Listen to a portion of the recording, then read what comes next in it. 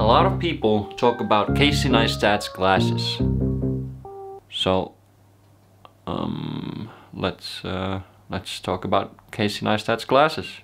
If you've ever wondered where Casey got the idea for his iconic sunglasses, here's your answer. Casey was filming a car commercial at Bonneville Salt Flats and he got some salt water on his glasses. When those uh, glasses dried up, they were covered with salt. Casey thought it looked cool and uh, the rest is then history. Now, as I'm trying to vlog like Casey for a week, I of course need my Casey glasses. And I only need a few things for that. Glasses, black marker, tape, primer paint, popsicle stick, something sharp like this cord holder.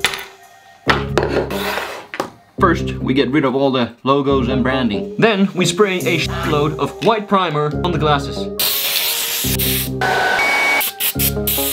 Then, if you're in a rush and you're stupid like me, you don't even wait for the paint to dry. You just take the popsicle stick and then you start scratching this ah, white paint Also, if you're like me, you might have forgotten to cover the inside lens with the tape, so you also need to scrape the inside lens. If you're using cheap sunglasses like these, at this point you might notice that you have also scraped away all the black shading from the lenses and the lenses are now ruined. Then you can try to engrave your name on the side of the sunglasses, but if you only have a corn holder to do it, um, uh, the result will probably be awful. That is the best I can do.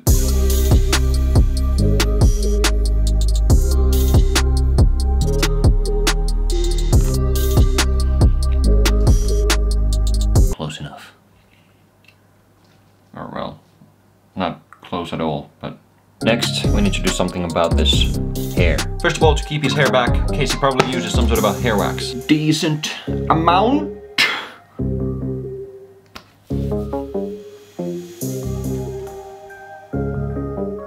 Close enough. And then sometimes he seems to use hair bands or hair ties. How do you use a hair tie? Is good? Where is it? How to tie hair. Got it grouped in there? What the hell is happening here?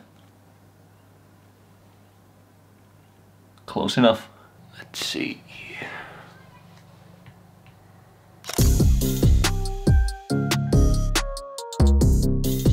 Now that I've got these glasses and my hair looks nothing like Casey's, uh, there's one more thing I need.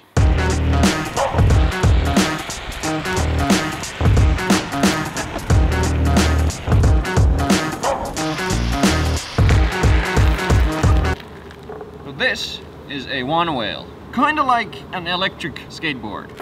And it's really easy to use. If you want to go forward, you lean forward. If you want to brake or go backwards, you lean backwards. Now Casey actually prefers boosted boards, but they're electric skateboards nevertheless. The point here is that a thing that moves with electricity is a highly practical tool for a vlogger or a videographer.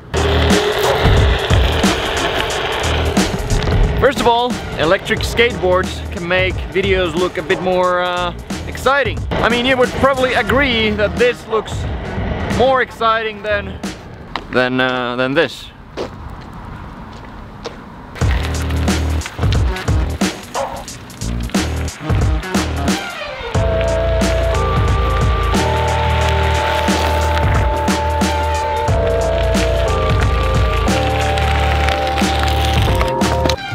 Also, one wheels and electric boards can sometimes replace gimbals or camera stabilizers.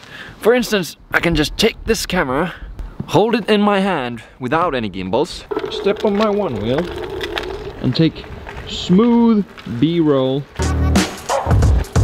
of this horse statue. I mean, you could never do this just by walking around this horse statue. And finally, these things really encourage you to explore more. Casey has said that nothing has changed his view of New York City more than his uh, electric skateboards or boosted boards.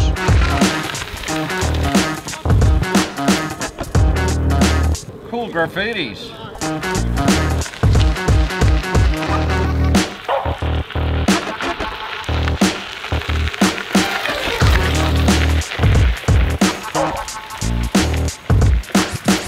It's not even that dark yet, but I can't see a damn thing with these glasses.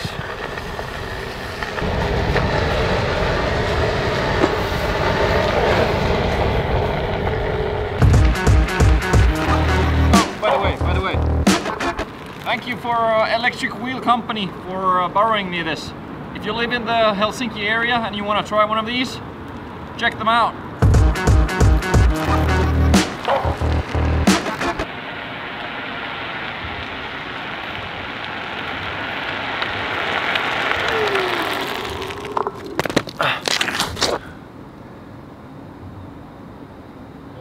That's about it for uh, today's vlog.